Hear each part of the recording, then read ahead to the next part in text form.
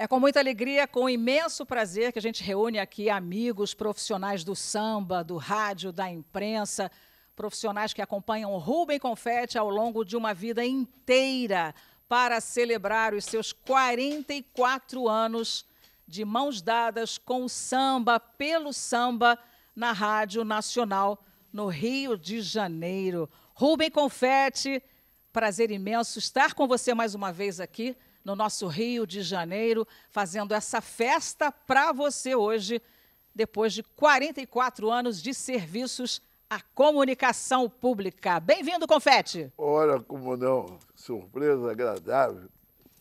Muito obrigado. Eu fui pego no contrapé, né? Que festa bonita, muito obrigado. Eu, quando recebo esta homenagem, eu lembro dos companheiros passado aqui da Rádio Nacional, da Praça Moá 7, os primeiros dias, que nós conseguimos atravessar tudo isso, com muitas histórias, com muita atividade, uma contribuição fundamental para a cultura carioca. Não? Olha, muita história, sim, dessa cultura, do samba genuíno, né, de toda a produção do nosso Rubem Confetti na Rádio Nacional e por todos os veículos onde ele passou também. Né, praticamente 60 anos trabalhando na imprensa escrita e falada, rádio, televisão, né, nas escolas de samba também. O é, nosso... Esse dia eu estava lembrando, eu comecei figurante da TV Excelsior, Canal 2. Olha então, figurava já na Excelsior, fazendo 1965. televisão. Em 65, já fazendo composições também para o samba. Confete, nós temos convidados aqui. Preciso apresentar toda essa turma que hoje compartilha com você dessa atividade. Rubem Confete tem 88 anos, minha gente, em plena atividade. Ainda. Vou fazer.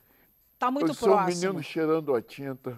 O menino que cheira a tinta. É de 7 de dezembro. Vai completar seus 88 anos, Rubem ah, Confete. eu falei 88, é 7 de dezembro. E está muito próximo. Abel Luiz, músico que acompanha Rubem Confete ao longo de uma trajetória né, do rádio, especialmente também na música. Prazer recebê-lo aqui com a gente. Uma alegria, uma grande honra e como você falou, não só da comunicação, da intelectualidade, do Brasil, de um Brasil que resiste, do Brasil que, dentro do que a sua resiliência produz, produz o que a gente chama de encantados brasileiros, como o seu Rubens. E que alegria, como você também mencionou sobre o samba, a gente está presente no momento de oferecer flores em vida, que acho que é esse que é o papo hoje aqui. Flores em vida para Rubem Confetti, que recebeu homenagens também de uma escola de samba bebê. América Samba e Paixão, escola de samba que completa né, em 2024 dois anos de fundação e que tem aqui na figura de Ricardo Neto a sua, o seu representante maior, o seu presidente. Conta para gente, Ricardo, prazer falar com você também, estar aqui celebrando vida e obra de Rubem Confetti. Prazer é todo meu, Luciana. Muito obrigado pelo convite. É uma honra né, estar aqui fazendo essa homenagem para Rubem Confetti, que uma felicidade absurda que nós tivemos quando fundamos a escola. Nós o escolhemos para ser presidente de honra e enredo do nosso primeiro desfile. E só que falar de confete no grupo de avaliação que é o nosso grupo, é difícil, porque confete é enredo de mangueira, portela, beija-flor. E falar numa escola com 10 alas, 12 alas, é muito difícil, porque o confete é muito grande. Mas eu acho que nós conseguimos o nosso objetivo. Parabéns aí pela ousadia. Daqui a pouco a gente conhece, a gente vai conhecer um pouco mais da história, né? Você, inclusive, esteve presente esteve. no nosso desfile. O, o, Ronaldo também esteve presente, o Abel ajudou muito de também. Magalhães desfilando o enredo em homenagem a Rubem Confete no Carnaval do Rio. Ronaldo Matos, presença certa também nessa produção ativa de Rubem Confete, né, em plena enfim, gozando de quase seus 88 anos de vida e de muito samba, o nosso compositor, né, que já vem lá dos anos 60, né, desde a Imperatriz Leopoldinense, desde a Império da Tijuca. Perfeito. Prazer falar com você também aqui no nosso programa, estar com você aqui hoje, é, para contar muito dessas histórias também, através do nosso querido e saudoso Nelson Sargento, você que é o herdeiro do sambista. Sim, sim. É, Luciano, um prazer estar aqui. É, é, uma emoção muito grande também, porque eu, eu, fui criado no samba, eu vivo do samba também. E é uma honra muito grande trabalhar com o mestre Rubem, que todo dia é um ensinamento. E eu, eu aprendi muito a, a, beber dessa fonte dos do nossos griots, né, nossos griots do samba. Então, para mim, é, é eu, eu, sinto que a minha contribuição é para isso, para difundir ainda mais a memória e, e, as atividades que esses griots do samba fazem. Então, eu tenho essa obrigação como, como, como sambista, como filho de sambista. E é um prazerzão estar tá aqui. Que bacana. Ronaldo tá Matos, com vocês aqui. que é produtor cultural também há muito tempo, músico, percussionista, tomando a frente aí de um projeto belíssimo que a gente vai conhecer já já aqui durante o nosso papo. A arte negra de Rubem Confetti, é só o que eu posso adiantar. Bom, você falava sobre é, ser próximo né, do rádio, ser próximo de Rubem Confetti. Aqui ao meu lado, um garoto que cresceu escutando Rádio Nacional por toda uma vida, historiador.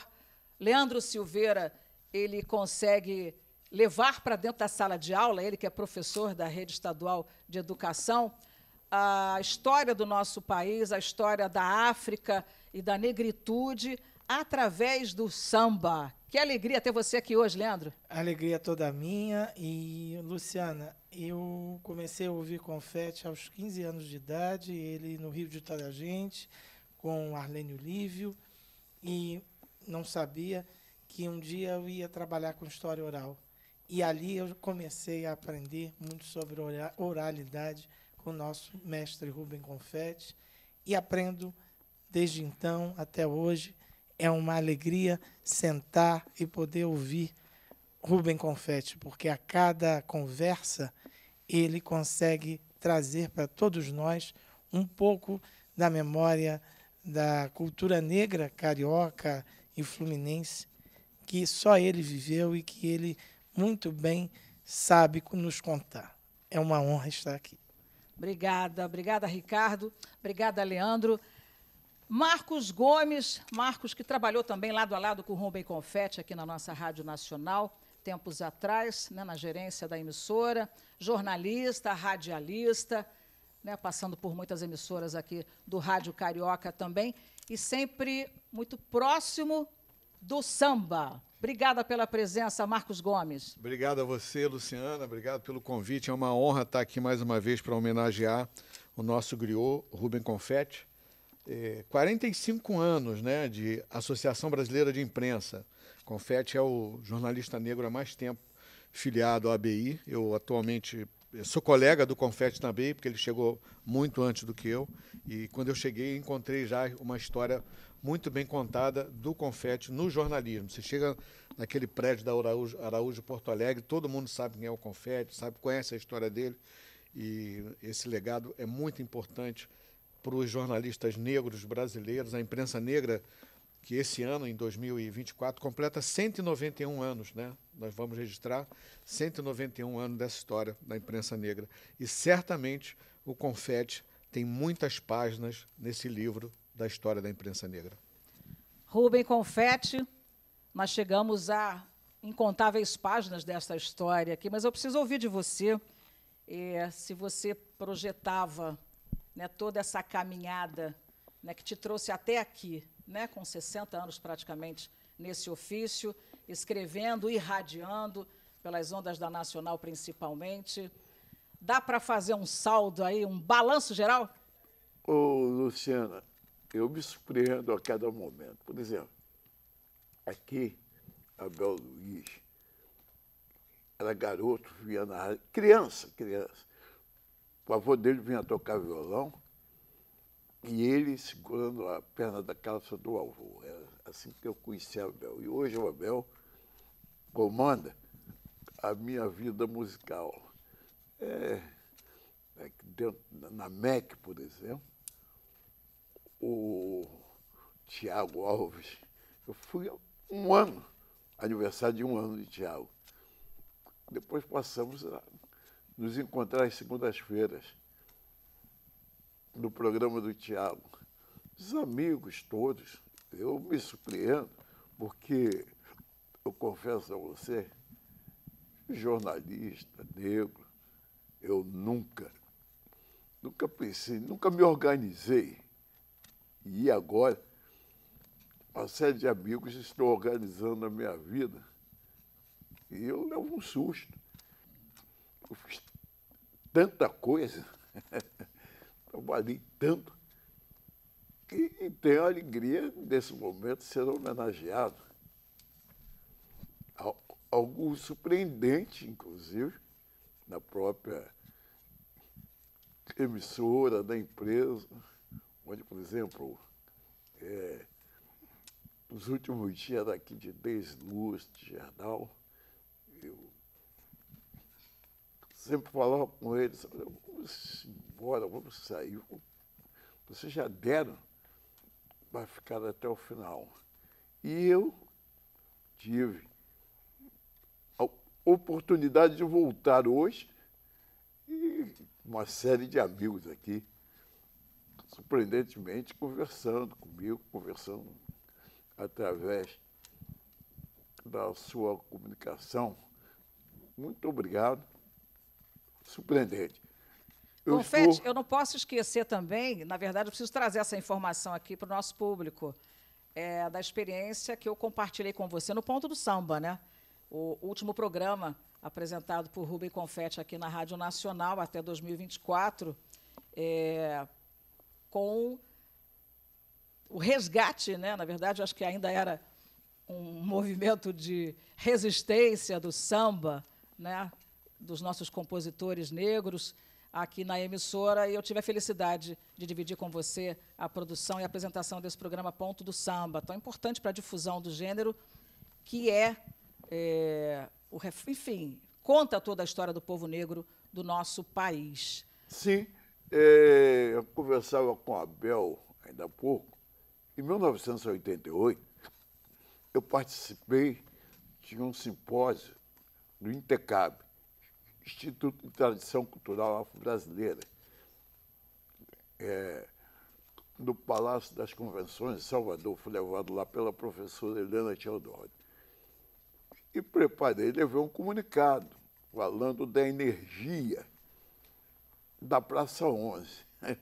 Observe, no próximo carnaval, 2025, se não me engano, 10 escolas de samba do grupo especial estarão cantando é, o legado ancestral africano e negros como, como Laíla, da Beija-Flor, Milton Nascimento da Portela, Logum Edé, será o enredo da Unidos da Tijuca, Oxalá, enredo da Imperatriz Leopoldinense, você veja assim, uma gama, algo que não se consegue de maneira nenhuma, em, termos de comunicação, em termos de ensino, em termos idade, não se consegue de jeito nenhum passar, vai acontecer na Maquei de Sapucaí.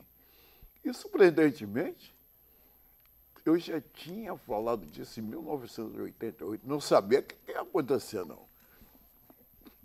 Não sou pitonisa, não jogo buço, não leio bola de cristal. Mas me deu isso na cabeça e acontecerá no próximo carnaval. Eu tenho muita alegria. Eu lembro quando eu cheguei na Rádio Nacional, pelo irmão do Wilton Berrian, chegou e disse, olha, eu coloquei você, o diretor de programação, mas o superintendente já conhece o seu trabalho, que é o Jorge Guilherme. Aí começamos num carnaval, aquele tempo eu estava com fôlego, eu falei durante umas 12 horas. Olha, fôlego é o que não falta, Rubem Confete. Hoje, se você propuser confete, bora fazer um podcast só para falar de samba e carnaval, ele não vai fazer. Ele não vai fazer um, ele vai fazer dez, ele vai fazer vinte de uma vez só, porque é bagagem né, sobre o conteúdo né, do samba, do carnaval, dos nossos compositores, que não acaba mais. São muitas e muitas décadas, não só compondo, mas também pesquisando, estudando muito e acompanhando todo esse movimento. Abel Luiz. Eu dei sorte, não, o, o seu, dei sorte porque é, eu fui para todos, desde a minha casa, desde, desde a minha família, através do Aniceto do Império. Na rua eu conheci Silas, Pixinguinha, Paulo Moura, Cartola, Carlos Cachaça, Walter Rosa. O mais incrível, Confete, a gente percebe como todos eles estão presentes hoje aqui. Né? O espaço que você conquista, eu acho que vocês todos para mim podem me ajudar a refletir um pouco sobre isso. O espaço que Rubem Confete conquista, não só no jornalismo, né, publicando colunas de samba e carnaval, né, desde os anos 70, é, especialmente no Pasquim, é, é a conquista de um território da cultura negra, porque afirma não só a produção do samba, mas de, de todas as artes, onde o negro é, é, fincou o seu valor, como o próprio cinema, como o próprio teatro. Né? A gente vai lembrar Zózimo Bubu, a gente precisa lembrar de Leia Garcia, de Ruth Rocha. Então, é a força negra da cultura brasileira, que chega na Rádio Nacional, nos anos 80, na presença de Rubem Confetti, com o programa Rio de Toda a Gente, mas que, ao longo de todas essas décadas, continua abrindo essas portas. E hoje a gente recupera, eh, na obra de Rubem Confetti, com o trabalho de Abel Luiz, né, numa pesquisa, numa peneira importante, esse samba engavetado, né, que permanecia inédito ainda, num projeto belíssimo chamado A Arte Negra de Rubem Confetti, que vai continuar falando das lutas do povo negro. Queria que você falasse um pouco desse trabalho, Abel. Bom, é com grande alegria que eu fui convidado a participar, porque a ideia genuinamente é do Ronaldo. E ele capitaneou de reunir a turma, envolver o pessoal, como o próprio seu Rubens colocou. Eu vim aqui ainda fa famoso, como chamava antigamente, garoto de calça curta, com meu avô, com o pessoal da Seresta, da Roda de Choro, e segui a vida é, também como músico, como admirador do seu Rubens, frequentando a rádio também posteriormente para divulgar o, meus trabalhos, as coisas. Eu acho que assim, nesse campo das coisas que a gente está colocando é, dessa vida e obra do seu Rubens, acho que tem um ponto que é fundamental para a gente pensar esse artista brasileiro, é, que a gente tem um modelo de pensar é, a excelência num parâmetro muito formal, de que, poxa, uma pessoa tem que estudar tantas horas por dia, uma pessoa tem que frequentar não sei quantas instituições e não sei o quê. E não só estou falando do seu Rubens, pessoas como amigos nossos, como o seu mestre Siqueira, o Pixinguinha, é, uma galera nossa que a gente vai encontrar que a gente da gente que, que ontem estava num programa ganhando nota 5 e na segunda-feira estava virando massa.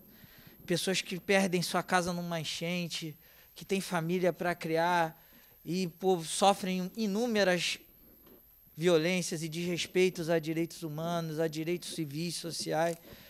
E no meio disso tudo, conseguem se reorganizar, conseguem desorganizar, conseguem achar brechas, construir novos coletivos, novas estruturas, conseguem pensar, refletir, compartilhar essas coisas e construir um legado de excelência, de originalidade.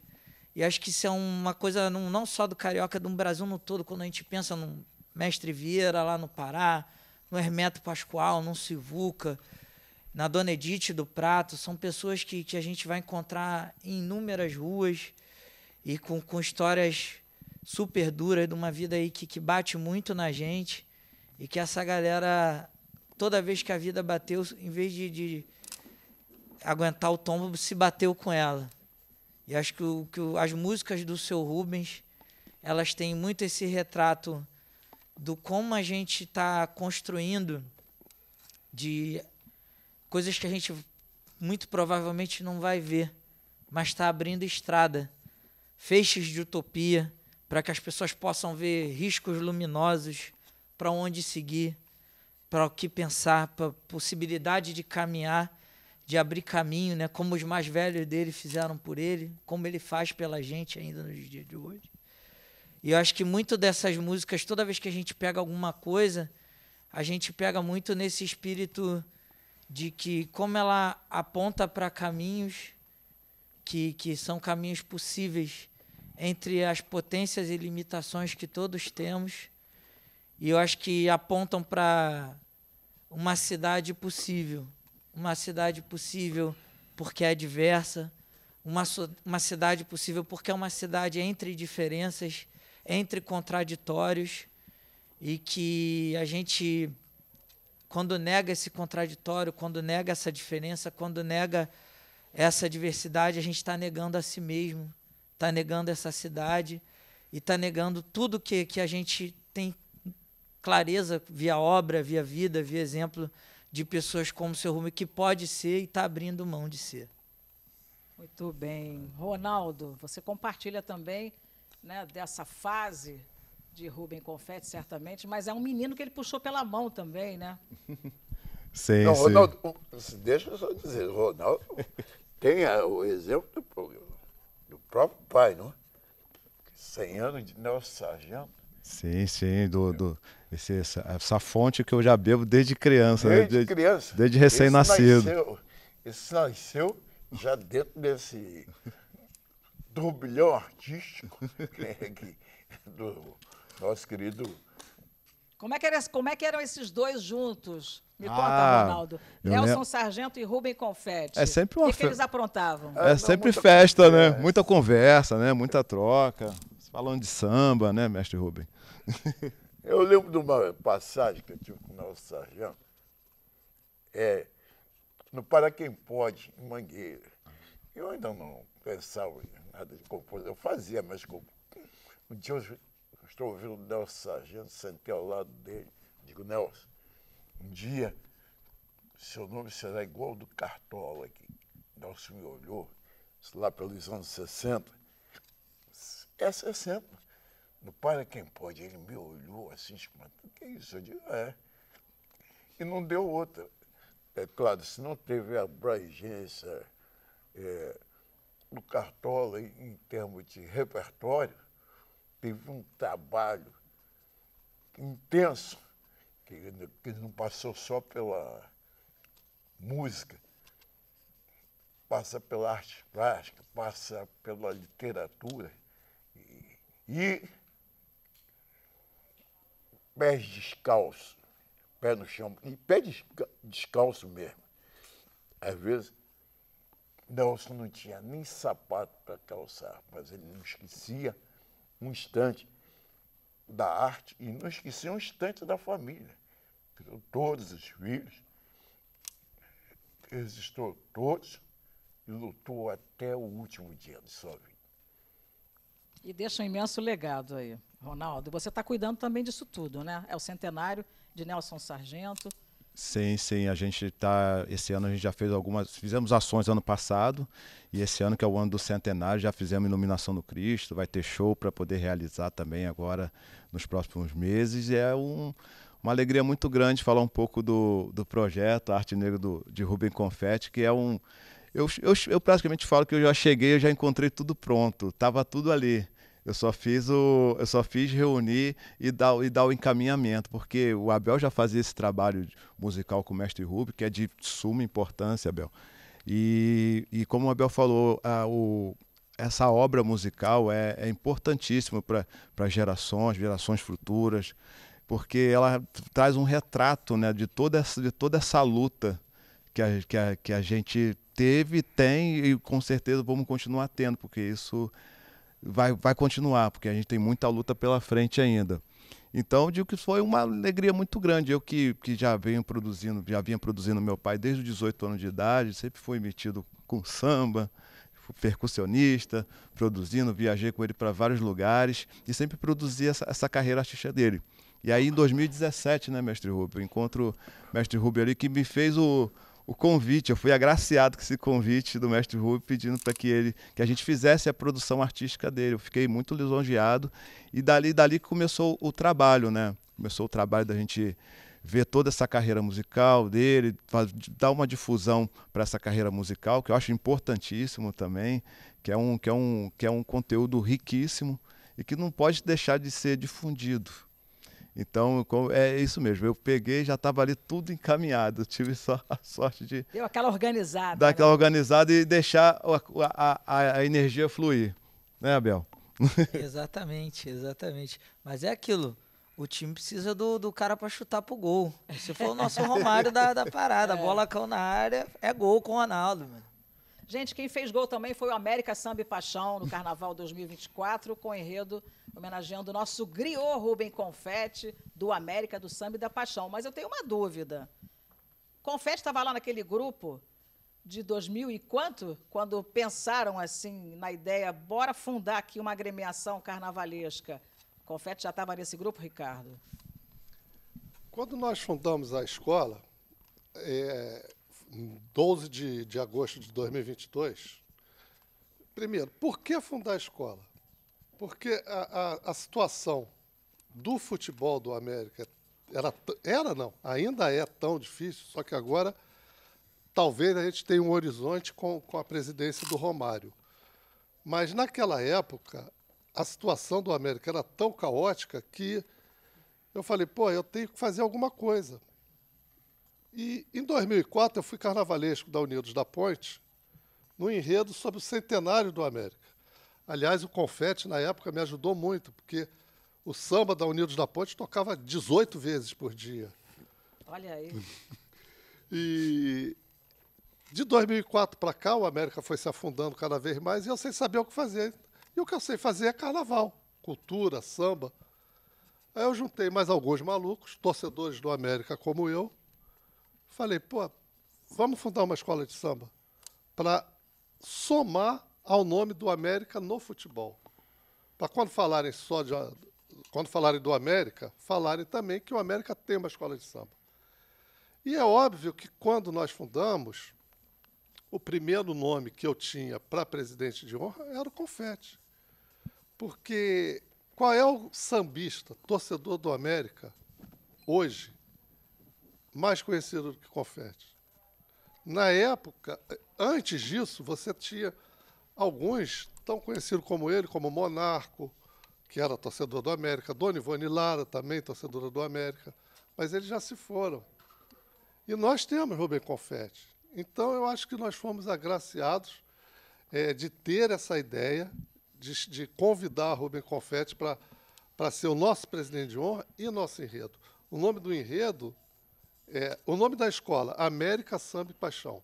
Nome do enredo, Rubem Confete, o griot do América, do samba e da paixão. E ele é o griot.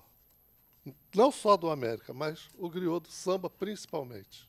Bacana. O griot Marcos Gomes recebeu uma oportunidade na Associação Brasileira de Imprensa, né, para dar o pontapé inicial da gravação desse projeto bacana da ABI, da, dos depoimentos né, em audiovisual dos jornalistas negros vivos, né? ou seja, é, Rubem Confetti contando sua história para a Associação Brasileira de Imprensa. Um projeto muito bacana. Como é que foi?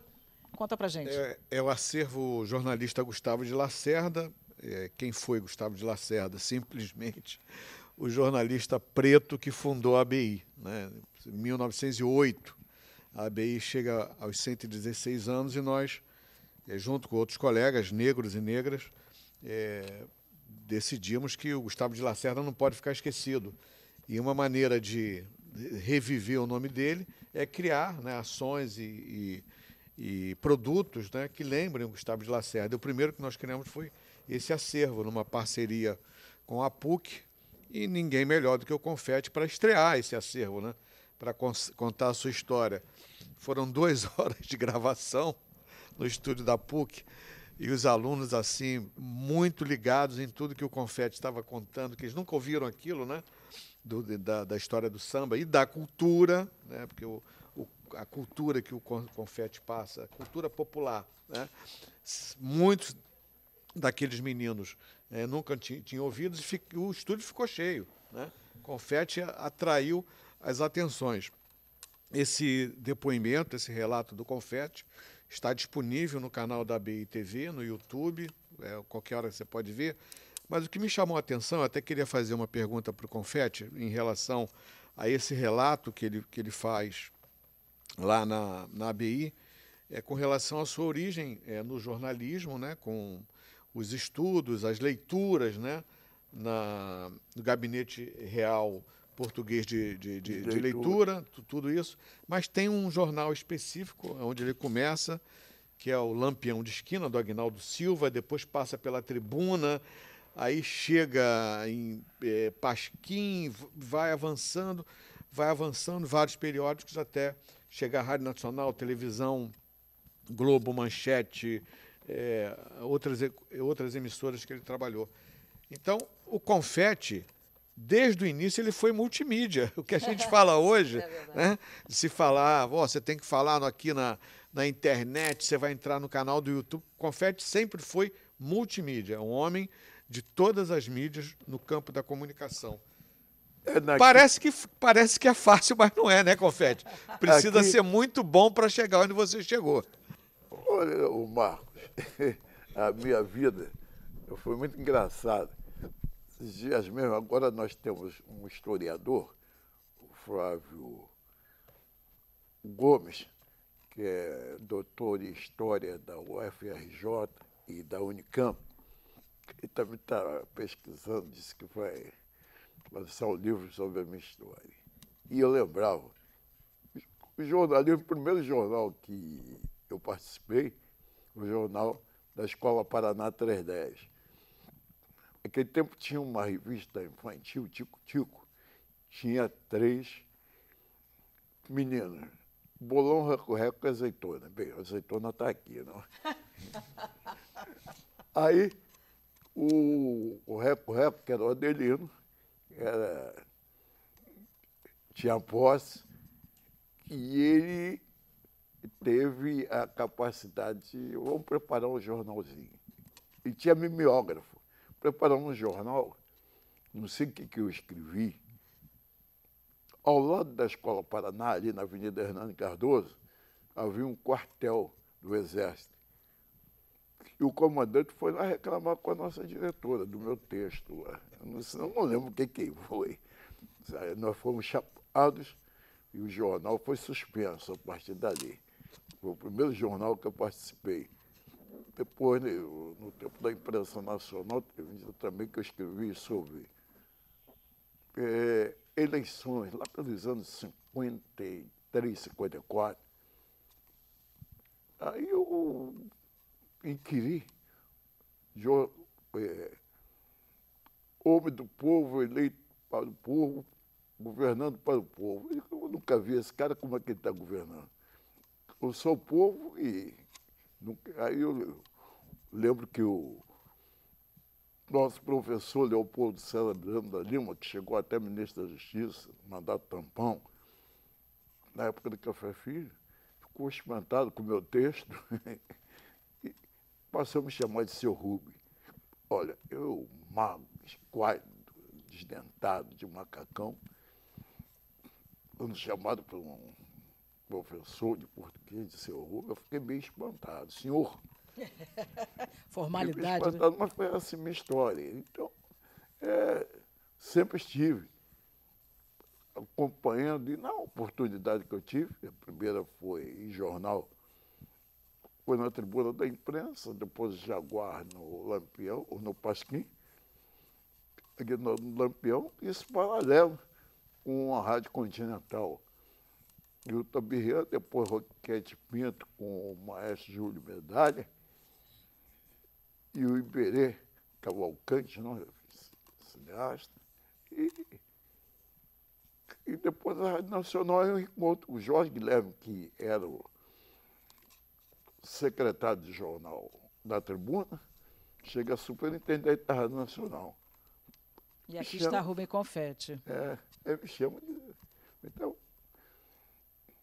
ele trabalhar conosco aqui é 44 anos. Aliás, quando ele me encontra, ele diz assim, engraçado, você foi o único jornalista que se transformou em radialista. Eu digo, ô Jorge, eu tinha que fazer, tinha que trabalhar. né?"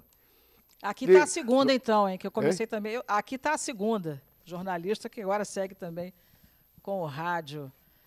Confete, você sempre destacou nos nossos programas a importância da educação, da escola, o papel da escola na formação dos nossos meninos, abrindo horizontes para a cultura brasileira.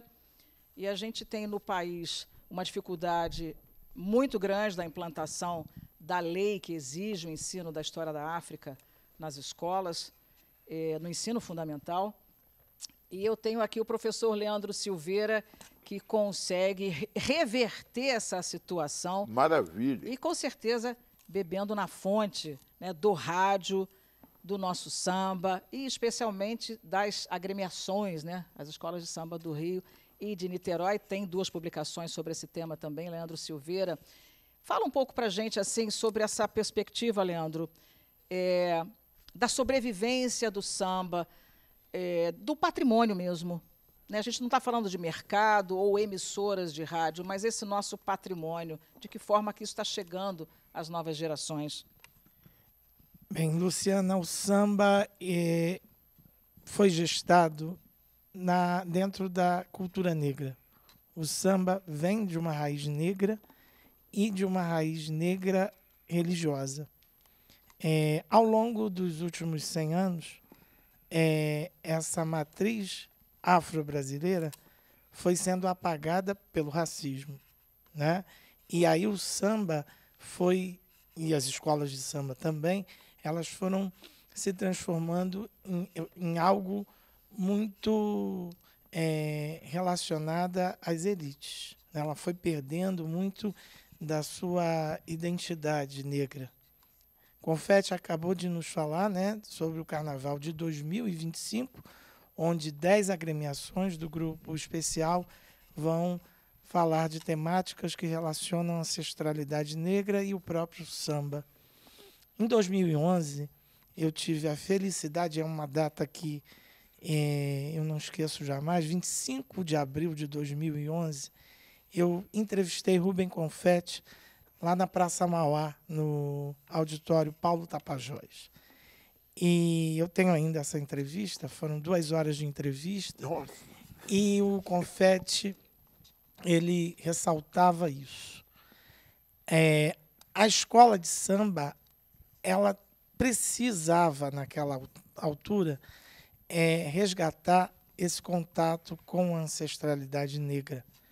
E quando a gente finalmente chega a esse ponto de resgate na ancestralidade negra, a gente então consegue resgatar também é, essa essência da escola de samba, porque a escola de samba veio da macumba carioca, veio dos rituais.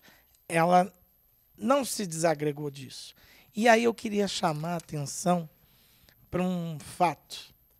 Rubem Confetti é um dos primeiros pesquisadores, porque ele também é um pesquisador, a colocar para o Brasil e para o mundo a existência da pequena África. E a partir da entrevista que eu fiz com ele, eu pude observar e fazer análise, como historiador, que essa pequena África não era tão pequena como se imaginava. Ela é muito maior.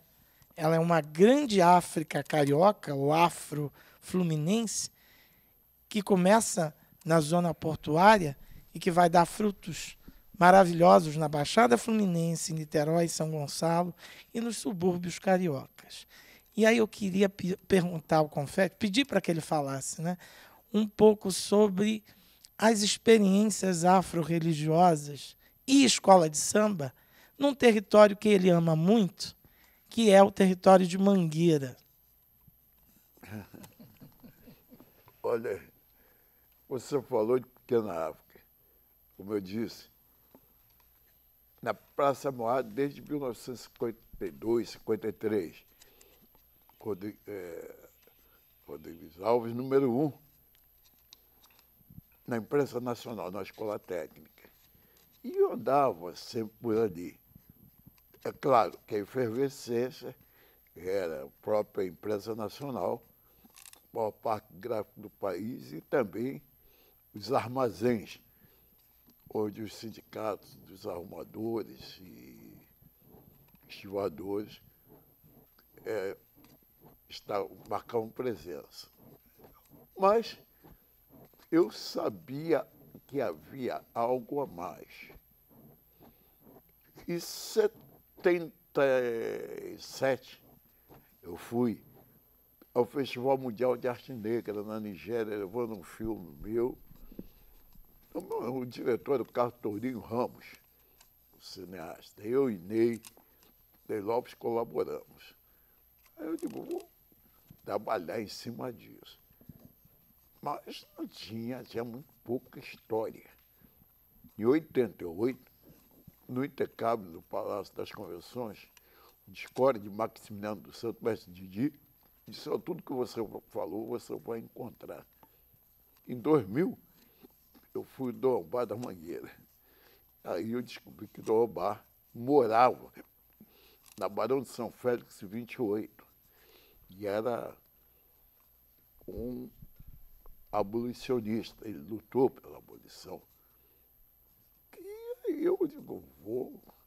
Em 2006, eu, conversando com o prefeito no Palácio da Cidade, levado pelo meu parceiro Zózimo Bubu, Zózimo que é meu parceiro desde a década de 60, século passado, eu falei com o prefeito, olha, prefeito, nós, o senhor está falando de uma série de aspectos da cultura negra, mas nós temos o Carlos Valon. Ele me olhou espantado, aí disse, ah, falei. O Jandira Fegali, que era secretária de Cultura. É claro que eu não fui, que eu não ia, eu não tinha munição. Um dia, na Rádio Nacional, o Marcos Gomes, da Cimofete, tudo aquilo que você fala anos está sendo encontrado. Estão escavando. Começaram as escavações e encontraram o Carlos Valon. Marcos Gomes que me anunciou isso. Aí lá fui eu para o Carlos Valon, contei lá a professora Tânia Andrade Lima, a, a arqueóloga que comandava a equipe nos saudou, disse, até que enfim a comunidade negra chega até aqui. Bem, tudo isso que depois, agora, mais recentemente, nós conseguimos é, a titulares de patrimônio cultural da humanidade para o Carnaval Longo, claro. Então, tudo isso aí me trouxe o seguinte: o que eu sabia era muito pouco do que eu sei hoje, porque ainda está por vir. Eu estou muito alegre. Primeiro, primeiro, Machado de Assis nasceu no Morro do Livramento, mas era considerado o Murcho do Corme Velho. Agora a turma já trabalha em cima de Machado de Assis, sabendo que ele nasceu ali. Aquele Oxalá dele vem de lá daquela. É, Portela, Escola de Samba Portela, o Paulo da Portela, nasceu na rua Rego e Barros, ali perto da Rua da América, também ali, na Pequena África é, Mangueira. Tia Fé, Dona Benedita, se não foi filha de santo, de João Labar, ela também era da zona portuária. Era da Pequena África até chegar a Mangueira. Ela não chegou, ela chegou a Mangueira, mas ela pegou um pouco, o alimentou a sua sabedoria ancestral lá naquela área. E seu Eloy Antero Dias, que também presidente do Sindicato dos Arrumadores, fundou a Deixa Malhar, fundou a União Geral das Escolas de Samba, incentivou, que ele lamenta hoje, ele que incentivou a criação das escolas de sambas, porque era a única possibilidade de sociabilidade que nós tínhamos naquela época. Então, tudo isso me, vem me alimentando. Nós estamos trabalhando, vamos continuar. Agora, recentemente, Palco teve até presente no lugar onde nós já estivemos, o Centro Cultural Pequena África, comandado pela Celina Rodrigues, e nós deixamos lá, na época da pandemia, por falta de segurança, e agora o Tiago assumiu o local e me convidou. De repente, eu fui lá homenageado com uma sala, a sala Rubem Confete. Marcos Gomes estava lá, né, Marcos? Ah, foi um momento muito lindo, muito bonito. Podemos... É ali no caso do Valongo, é, né? É, no Jardim Suspenso do Valongo. Jardim Suspenso do Valongo. E foi o dia de uma homenagem também a Abdias Nascimento, na inauguração de uma exposição e a inauguração da Sala Rubem Confete. E eu tive a sorte de poder falar nesse evento. Olha só, o que, que eu quero mais da vida, gente? Não é? Ah, muito bom isso. É, o, o Confete, eu queria aproveitar até o gancho aí de. A gente já falou sobre o valor, a importância.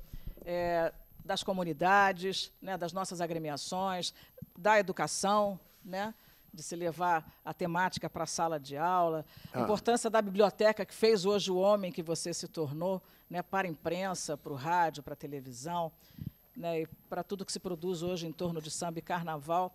É, enfim, a importância do compositor também. Vamos fazer um pouquinho desse exercício agora é, ah. de contextualizar, trazendo para 2024, o que representa um homem aos 88, né? vai chegar lá vai muito em breve, 80, Rubem Confetti. Ainda. Pois é. É um homem na idade né, em que Rubem Confetti se apresenta, com toda a sua vitalidade, com toda a sua lucidez, com a bagagem que ele traz de, das histórias e memórias do povo brasileiro é, na arte, é, tendo aquela origem tão humilde, aquele menino negro, pobre, né, de pais praticamente analfabetos. Que Pai estudou, mãe analfabetos. Que estudou. Pois, desculpe. Olha, sei, sei pela rua, de livro em livro, de informação em informação, fui. Foi fazendo ali. Pois é, e já chega para o ensino, para a escola é, com instrução, sabendo ler, sabendo escrever. O menino de origem muito humilde. É, mamãe... Então, assim, é, o que, que, representa isso é, nos dias de hoje para um país é, com tamanha exclusão, né, com tamanha desigualdade? É, é uma vitória, uma conquista suada né, de um profissional que trabalhou de graça em muitos veículos, né, a própria, no próprio, na própria tribuna da imprensa, né, Confete, não ganhava ah. qualquer remuneração. Então, assim, perpetuamos ainda esse modelo? Ou nós temos ainda oportunidades para todos que se lançam no jornalismo, que se lançam no rádio, que se lançam no próprio carnaval, numa escola de samba? Ainda, tem, ainda vivemos uma utopia né, dessa inserção do negro de forma ampla. É falta Abel, oportunidade, deixa, vou, não vou, é? rodar aqui o nosso, vou rodar aqui o, a pergunta, Abel. Eu acho assim, tem, tem uma coisa que a gente conversa muito pouco nesse campo, que a gente discute muito a questão da inclusão e da exclusão. E, infelizmente, são palavras que estão a serviço de, de quem tem o poder. E nesse sentido, para você ter sete pessoas com o acúmulo de mais da metade de todo o dinheiro do mundo nessa conta, você precisa ter muita gente passando miséria e você está incluído nessa conta, olhando por essa perspectiva. Eu acho que a palavra que, que, que a gente coloca às vezes e que não está tão em pauta quanto deveria, a gente gostaria, é a equidade, que é garantir acessos para acessos diversos para que todos possam ter a plenitude do seu direito. Tem um samba do Aloysio Machado que ele fala muito sobre isso, que ele diz assim: os direitos humanos são iguais, mas existem as classes sociais. E aí, quando a gente não discute sobre essa equidade, cai sempre naquela conversão, mas a lei é para todos. Mas nem todos têm acesso a direitos, nem todos têm acesso à escolaridade, nem todos têm acesso a bens culturais, nem todos têm acesso à dignidade, à água potável, à moradia. Então, como é que a lei é para todos, se a gente não tem o mesmo acesso para todos? É, e a gente também não pode, que eu acho que é uma coisa que o Sr. Rubens coloca quando a gente conversa, eu aprendo muito com ele sobre isso, é a gente não cair nas armadilhas também meritocráticas de ah, se um eu consegui, o outro ele nunca colocou isso. Eu acho que é, é uma coisa também que eu me policio muito, porque essas coisas vão passando na nossa cabeça contra a nossa vontade. A gente às vezes se vê reproduzindo coisas e nem sabe por que as reproduz. E eu acho que são são eu brinco muito com a galera assim que a gente está na rua trampando, camelô, galera no boteco, pessoal de Uber, motorista de ônibus. E eu sempre troco essa ideia. Falei, cara, você é trabalhador, eu sou trabalhador do som, você é trabalhador do motorista, você é trabalhador do rádio, você é trabalhador do, da portaria. Bicho, só tem um cara que se dá bem quando o trabalhador briga com o trabalhador. É o patrão, cara. Para ele é interessante, seja qual for o trabalho, o trabalhador está brigando entre si. Que aí ninguém tem que discutir com ele, fica a gente brigando entre a gente. E é. acho que o, o seu Rubens, ele. A gente não, não dá conta desse programa de falar. Mas quando a gente for falar sobre o terreirão, por exemplo, assim, tudo que de, de grandioso aí que a gente tem no carnaval, que tem a mão do seu gente, tanto não foi pensado para ser lembrado como, como uma coisa que vão lembrar de mim porque eu fiz isso, que as pessoas não sabem, muitas vezes, das contribuições fundamentais que tem a mão dele, que foi lá conversar, garantir aquele espaço, brigar para que as pessoas tirassem o sustento no período do carnaval, brigar para que o carnaval tivesse uma conversa para além dos dias de carnaval, para que esses compositores, artistas. E aí, quando a gente fala carnaval, também cai muito nesse papo assim que, igual quando a gente fala de escola, a gente fala do professor e não fala da comunidade escolar. Falar dessa comunidade do carnaval, que são o pessoal que costura, da montagem, dos reparos. É. E que, que eu acho que tem muito a ver também quando vocês colocaram perfeitamente dessa coisa de como é que o seu Rubens se deu bem com a internet, com a imprensa escrita, com a imprensa falada, porque o seu Rubens, quando ele mete a mão para fazer as coisas, ele é o artesão. E acho que o que mais coloca assim em pauta essa coisa do, desse artesanato, que ele é um artesão da linguagem. E aí não tem plataforma. Tem o cara pegar aquela coisa e trabalhar. O, aquilo é sempre um barro em construção como ele falou, eu não sabia é, que, que, que as coisas iam tomar esse rumo, mas eu estava com o coração, a mente aberta, à disposição para meter a mão naquele barro ali e moldar. E a arte de se comunicar com simplicidade, que é fundamental, né? Rubem Confetti constrói uma trajetória é, onde ele se torna aprendiz e mestre ao mesmo tempo, né? E o Rio de Toda a Gente, que foi uma escola para mim, mas foi uma escola para muitos ouvintes de rádio, né? anos, eu peguei nos anos 90 ele fazendo com o Arlênio Lívio, né? E também peguei um período é, depois do falecimento do Arlênio com o Tárcio Santos. E a questão do debate, né? Hoje em dia, a escola de samba não debate seu presente, o seu futuro de forma popular. O programa de rádio era uma plenária popular do samba. O auditório da, da Rádio Nacional recebia presidentes do grupo especial ao último grupo e, havia né, um, todo um debate, toda uma, uma disputa né, sobre os caminhos do carnaval, mas todos eles queriam ouvir Rubem Confetti, porque Rubem Confetti, no alto da sua experiência, sempre tinha é, uma palavra ou um, algo a indicar. Eu lembro no carnaval de 2001, O Ana Portela quase caiu, quase foi rebaixada para o grupo de acesso, que Carlinhos Maracanã é, parou tudo antes de preparar o carnaval seguinte e procurou Rubem Confetti para tirar suas dúvidas e saber o que, que precisava mudar na Portela. É uma escola tradicional que estava meio perdida naquele momento e Rubem Confetti falava no ar.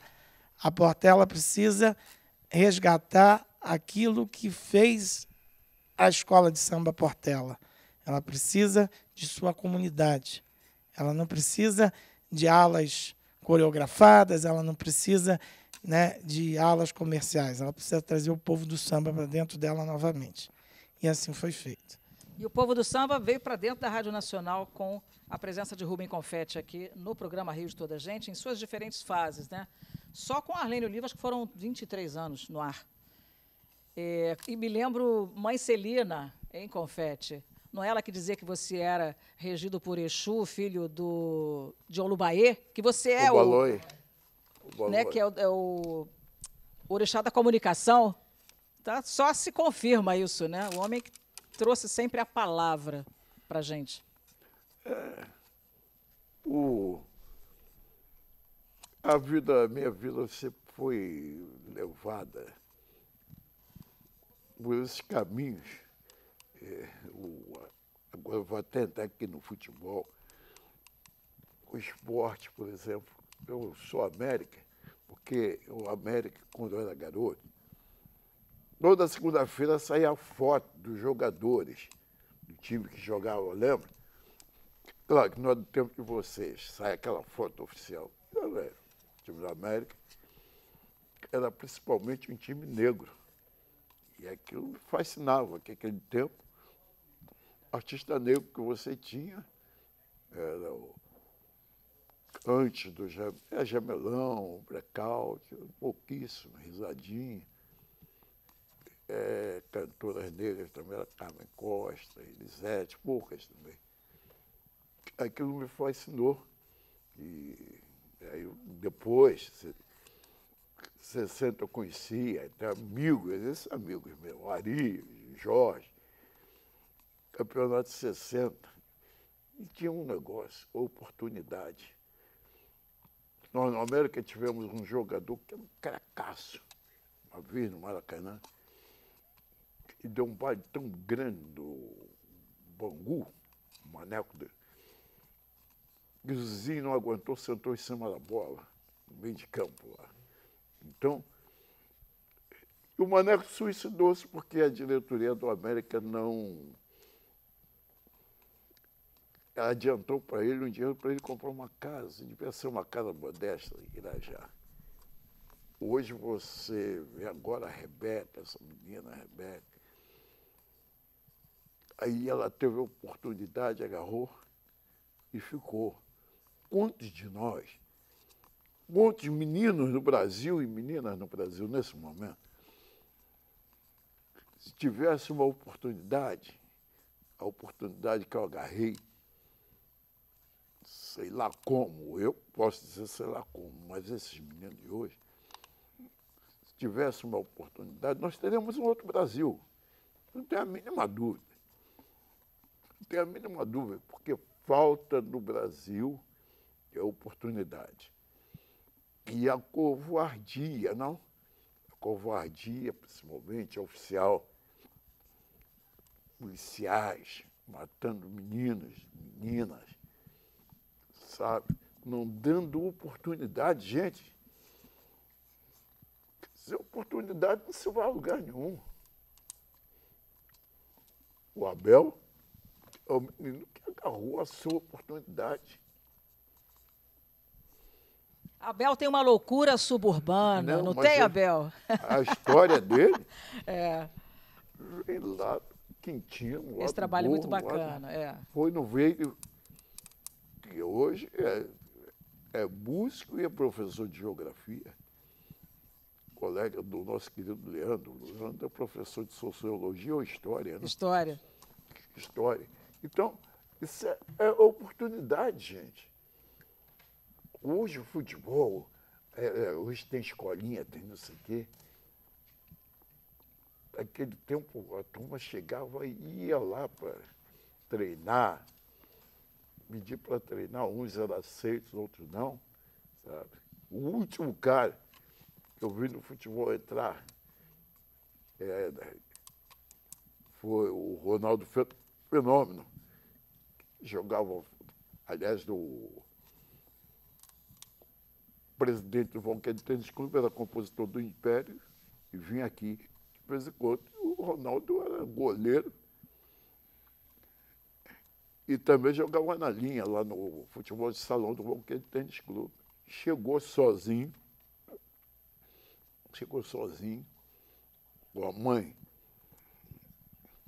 telefônica lutando pela família, o pai um tanto quanto desviado, e ele conseguiu, sozinho,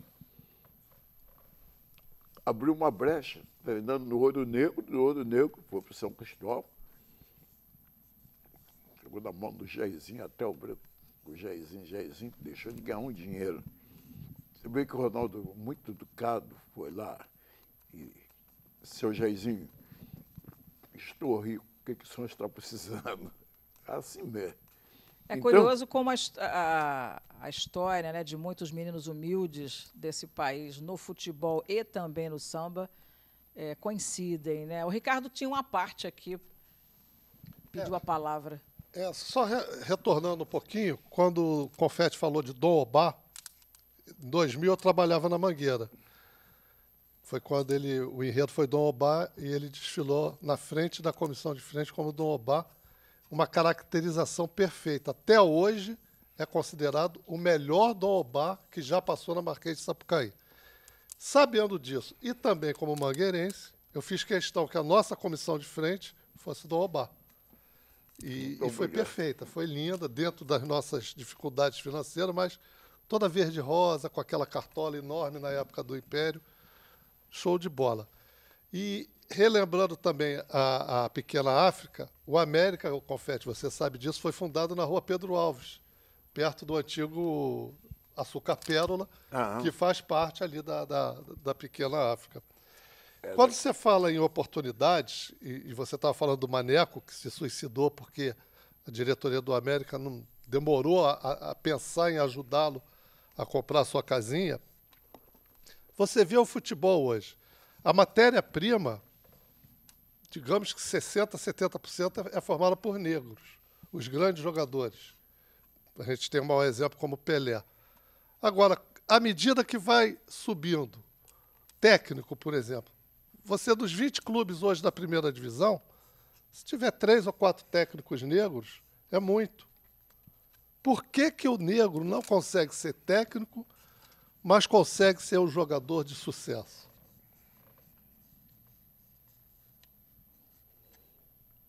Ele é matéria-prima, não? Aí os outros apenas trabalham essa matéria, trabalham, exploram essa matéria. Né? Na verdade, o jogador é explorado. Alguns dão sorte, mas a maioria não. A maioria fica na estrada. Já vi de jovens na estrada aí. Muito diferente da vida de celebridades do futebol, como a gente vê hoje. E, né? infelizmente, por incrível que pareça, no carnaval a gente vê isso também. Também, também. Quantos carnavalescos negros existem? Agora tem o João Vitor, tem o André da Portela, mas quantos tem? Quantos tem, Marcos Gomes? Muito pouco, quase nada, né? Falar de presidente de escola de samba, então, né? não tem. Você tem, tem o coisa... Thor, tem a Gualaíra, o Almir.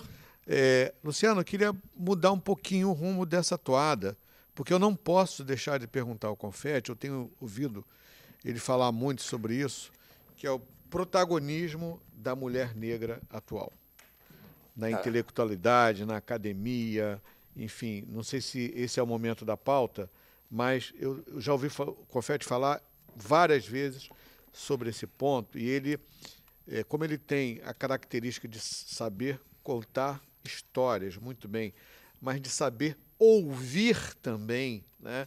Eu queria que o Confesse traduzisse e explicasse para a gente como é que ele interpreta esse protagonismo da mulher preta. Só para orientar rapidamente, Confesse, só para orientar vocês que a gente está encaminhando já para o encerramento, então todas as colocações finais podem ser feitas agora já. O Leandro, na sequência, também tem aqui uma contribuição.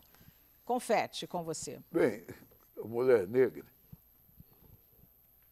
é desde nós, eu e Zélia, estivemos em Paris, estivemos no Museu do Homem. E lá está o espaço do primeiro fóssil de um ser humano, foi uma mulher negra em Tanganica, há não sei quantos milhões de anos. Nesses últimos tempos, eu venho analisando, chegando à conclusão, ainda mais, esse momento da conferência do crime, a mulher é a maior receptadora e também distribuidora de energia da face da Terra. Não adianta você querer pensar em fontes energéticas sem pensar na mulher, sem, é, apesar dos ciclos hormonais, tudo mais, ela é a maior fonte. E a mulher negra traz do legado africano é uma sabedoria que foi repassada por muitos anos aqui no Brasil. E hoje se perde um pouco, lamentavelmente, eu, nesse momento, estou propondo a recuperação dessas senhoras, dessas iabás, porque a energia delas e a força de organização delas é incrível. O João Baldo Ribeiro escreveu um livro, Viva o Povo Brasileiro. Ali ele retrata o que foi a mulher negra no Brasil, o que foi a mulher negra, e o que poderá ser ainda e que possibilidade ela tem. É claro, hoje você está, nós estamos assistindo muitas jovens, jovens negras nas faculdades dessa, da, do regime de cota. Já, você já tem muitas ingressando nas faculdades, muitas é, no empreendedorismo, já está abrindo-se uma porta. Mas essa porta ainda poderia ser maior se elas começassem, pudesse ou soubesse, tivesse a oportunidade de captar também um pouco daquela sabedoria ancestral lá de trás, que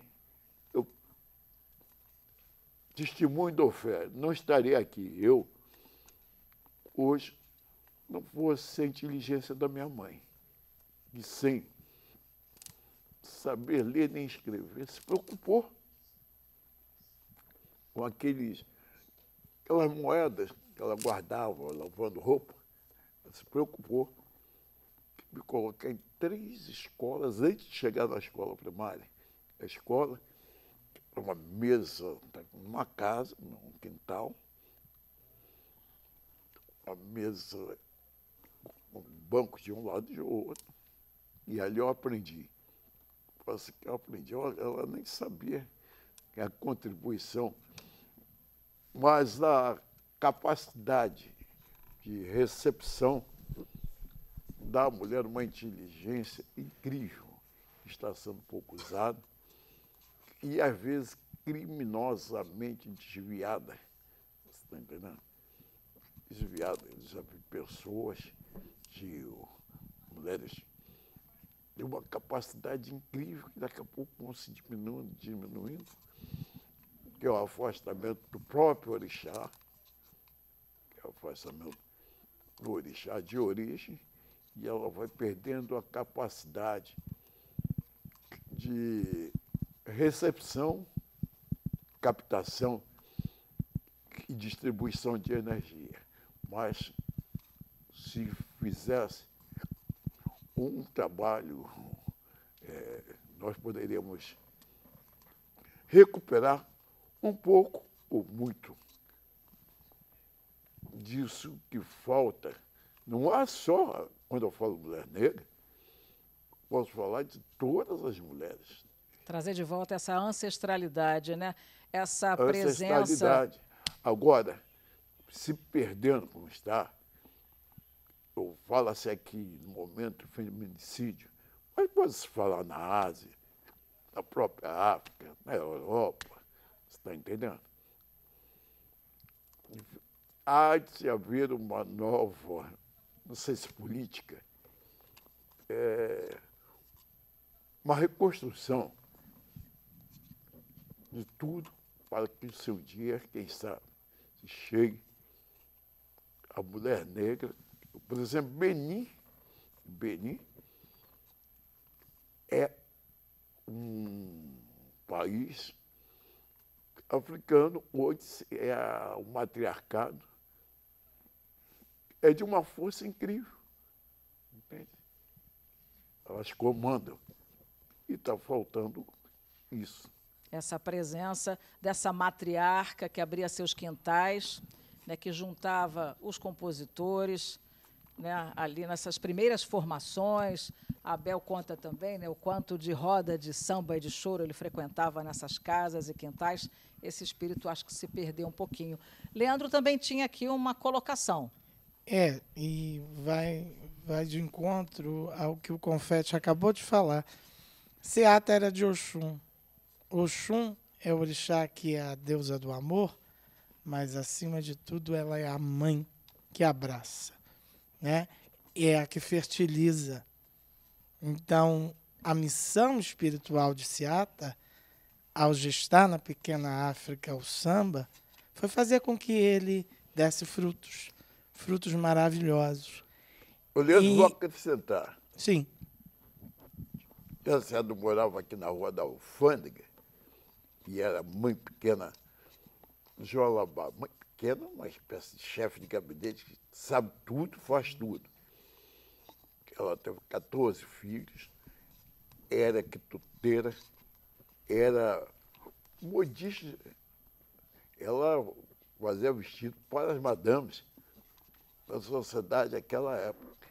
Ela tinha uma visibilidade festeira, ela fazia tudo. Sabe se existe multi a tia Seara era uma multi que realmente fazia. E uma outra que se destacou ali também, na Pequena África, a dona Eugênia, mãe Aninha, que fundou, veja só, um dos candomblés mais conhecidos da Bahia, o Ilê Pichel Pofojá, foi fundado na Pedra do Sal, lá pelos anos 1800. Maianinha foi filha de Olabá. É claro, foi tratada também por Tia Seata. Então, é, muita, é uma energia muito grande em tudo isso que, que nós esperamos um dia, quem sabe, recuperar. Aí sim, aí nós teremos a evolução do, da, terra, da própria humanidade. E, por enquanto, nós estamos aqui nesse programa em minha homenagem. Muito obrigado. E, Luciana, só para encerrar aqui, completar, né? Todas essas mulheres, e aí eu poderia citar também Tia Carmen do Chubuca, no Campo de Santana, e outras que, que foram para a Baixada Fluminense, né? é, ao longo do, do, do, da, da sua experiência de vida, lutaram contra um sistema capitalista que nascia, que, que, que, crescia no Brasil e que queria apagar essas formas de sobrevivência da população mais pobre. Mas para fechar, eu queria sugerir à Liga Independente das Escolas de Samba do Rio de Janeiro, que deu uma renovada agora, que tem né, é, novos, novos diretores, que não esqueça que o samba, para permanecer vivo, ele precisa é, não esquecer a sua raiz. Então, existe um conselho soberano na Niesa. Eu sugiro o nome de Rubem Confetti para ingressar nesse conselho. Que isso? Maravilha! Que isso? Não, não. Salve, Rubem Confetti. Apoiado. Apoiado, apoiado. Vamos sair aqui em campanha já, hein? Que isso? Nessa nova fase da Liesa. Marcos Gomes, assume aí para a gente rodar aqui na despedida derradeira. Já acabou? Ah, pelo isso. Não. Ah, é o volume 1. Ah, bom, bom. Vai bom. ser como a fazer- biografia do Confete. Ela vem em vários série. volumes. Vamos fazer um Netflix aí pra série. Vamos maratonar Rubem Confetti. Não, isso. Olha, foi muito bom estar aqui com vocês, é, falando é, sobre esse personagem, esse amigo, esse profissional, esse inspirador, esse griot, é, de quem eu me tornei amigo e fã. Muito obrigado pelo convite, Luciana. E se puder me chamar de novo, eu venho. Muito obrigada, Marcos Gomes. Abel Luiz. É, como eu disse no início, acho que uma das grandes alegrias da, da, da nossa vida é poder ser grato. E acho que são dias como esse que a gente, que a gente às vezes é muito grato pra gente, né? Mas a gente não tem oportunidade de estar grato com as pessoas, com os amigos, com os bons encontros que a vida oferece, né? Que que tá junto de pessoas como o seu Rubem constrói infinitamente aí pra gente. Eu acho que, que a grande gratidão retoma é a gente poder estar aí oferecendo flores em vida, com o samba lá que vem da escola dele lá, Mangueira, seu Nelson Cavaquinho, e que a gente possa aí com essas flores, esses sons, esse artesanato do seu Rubem aí, minimamente, como colocou aí, fertilizar, produzir, como você falou das rodas, é, a coisa dos encontros, eu acho que tudo isso, na sua devida proporção, em algum momento da vida a gente foi o que a gente nem sabe como, mas ativou aquele negócio assim, como eu vou além? Eu passei e vi aquelas pessoas tocando, ouvi um cara falando uma parada no rádio que nem imaginei que ia ser o, o, o meu Oduma, estava ali na, na onda do rádio, né? E acho que, que a gente tenha essa, esse saber ouvir e esse saber também falar no- do jeito que for possível, estar tá atento aos sinais, né?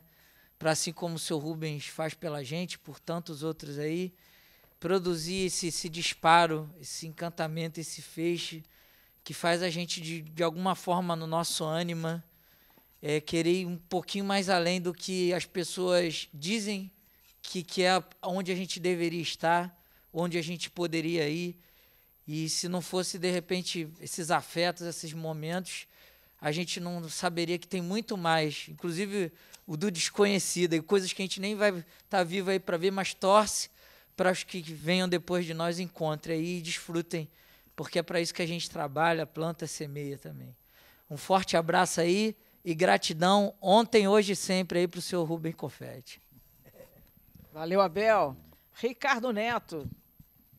Obrigado, Luciana, pela, por esse programa maravilhoso. É uma honra estar aqui prestando essa homenagem para o Rubem, nosso querido Confete.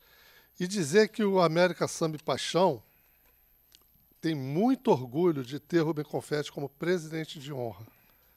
E mais do que isso, é, eu convivi no último ano, eu convivi di- di- quase que diariamente com o Confete. E eu tenho 58 anos, quase 30 a menos do que ele.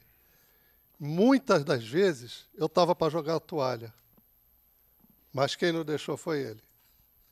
Então, se a nossa escola conseguiu passar com dignidade, muito se deve a ele. Porque quando eu fui fazer a sinopse da- do enredo, eu fui lá numa, não lembro se foi numa segunda ou numa terça-feira de manhã, Aí a dona Zélia botou a gente lá na, na, na, na área. Aí eu liguei o celular no gravador, o confete começou a falar, falar, falar. Nós, nós demoramos três horas. Aí quando eu cheguei em casa, eu ouvi aquilo tudo de novo várias vezes. Eu falei, como é que eu vou botar três horas em 10, 12 alas e um carro? Mas o que eu aprendi ali, eu não aprendi nos outros 28 anos de carnaval que eu tenho. Então, para mim, foi um momento assim único de, de, de aprendizado, de sabedoria, de todo aquele carinho, respeito e admiração que eu já tinha há muito tempo. Hoje eu posso dizer com muito orgulho que eu tenho o Rubem e a Dona Zélia como amigos e que para a nossa escola, independente do que vai acontecer daqui para frente, poucas escolas têm no seu primeiro enredo um enredo tão impactante como o Rubem Confetti. E isso eu aprendi que a gente não pode desistir, porque muitas vezes eu estava para jogar a toalha e ele não deixou. Acredito. Inspiração, motivação. Ronaldo, ele também te dá essa recarga aí quando você precisa, Ronaldo? Bastante, muita. Ele que é um, é um dos combustíveis para eu poder continuar na carreira de produtor cultural, de levar a bandeira do samba, de produzir música, produzir artistas do samba, novos, novos artistas do samba. E agradecer, Luciano, pelo convite. Eu estou aqui muito, muito honrado. E falaram em oportunidade, eu tive essa. Eu tô- na verdade, eu, tenho- eu tive várias oportunidades na vida. Primeiro com meu pai depois com esse convite maravilhoso do mestre Rubio que chamou me chamou para mais para perto dele e, e aí eh, foi um, um convite maravilhoso que a gente tem muito a agradecer, mestre Rubem. Eu e Lívia, que é a minha sócia, minha esposa produtora na, na Conexão Social. E eu acho que daqui para frente é continuar eh, levando, levando esses projetos para frente, produzindo outras coisas e eu acho que é isso. Hoje eu, eu fui- fiquei mais aqui de ouvinte, saio daqui com transformado, com, com, com muita informação boa, com muito aprendizado e agradecer, agradecer mais uma vez o convite que hoje foi um marco na, na minha história, acho que na história de todo mundo. Viva Rubem Confete! Viva! Viva! Maravilha. Salve Confete! Eu tive a bênção né, de acompanhar você aqui na Rádio Nacional nessa última fase, como eu já disse anteriormente, no ponto do samba. Rubem Confete eh, me apresentou toda essa riqueza, né? Porque eu tenho 30 anos de rádio praticamente, mas nunca tinha tido tanta proximidade assim com o samba e com o carnaval. Então, eu devo a ele, de fato, esse mergulho profundo né, nessas águas onde eu me banhei com toda alegria. Salve o samba, Rubem dos Santos, vida longa para o nosso griot. Muito obrigada, Confete, por Obrigado a tudo. você, Luciano. Obrigado a todos os companheiros da Rádio Nacional. Eu agradeço, eu agradeço desde de recepcionista, toda a portaria, operadores, contínuos, to- todos, todos, todos. Estão todos aqui hoje, pode ter certeza, nessa homenagem. Aliás, Muito todos obrigado. aqueles também que já fizeram a sua passagem, né? E que sempre É. estiveram com confete, estiveram na nossa emissora. Observe.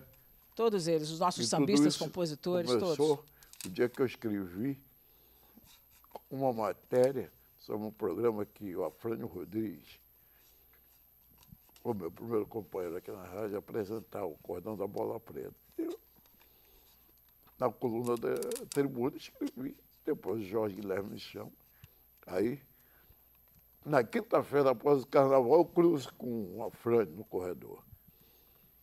Aurélio de Andrade, o primeiro locutor da rádio, a com esse rapaz aí que escreveu aquela matéria. Aí eu, eu fui assim, fui, fui, me pegou. Jorge Guilherme, estou saindo de férias. Quando eu voltar, esse rapaz vai trabalhar é comigo. Que Entendido. momento feliz, né? Que E aí? encontro. o Jorge pediu, queria da época, falasse um pouco de folclore, não sei o quê. Eu vou aproveitar falar do samba. Foi a primeira vez que o, o samba das escolas teve a oportunidade de estar num programa de rádio. Aquele tempo, a tarde era o horário nobre. Já Era dividido tarde e manhã. De seis da manhã às seis da noite era o tempo nobre do rádio. E alcançamos aí.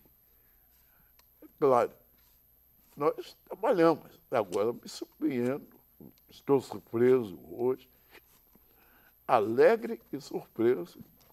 Homenagem, agradeço a todos os companheiros que aqui estiveram. E vamos continuar.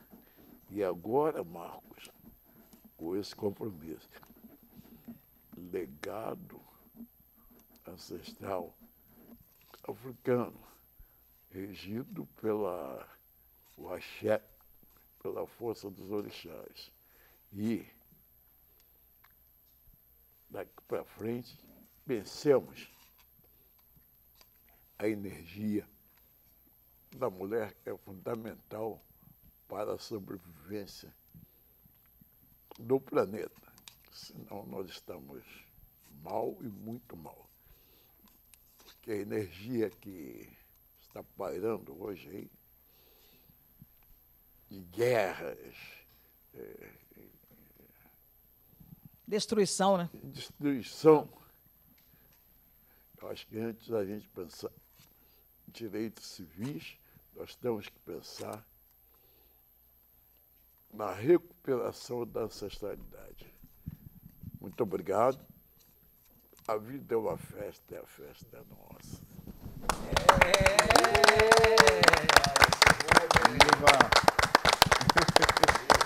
Salve! Olha, confete. Viva Valeu.